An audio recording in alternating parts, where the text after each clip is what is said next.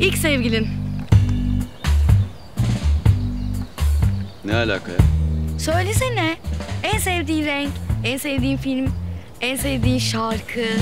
Annenin kızlık soyadının ilk baş harfi. Uğurlu sayın. Ayşegül. Ne yapıyorsun sen? E seni tanıyorum. Uğurlu sayıyla insan mı tanınır? Nasıl tanıdın?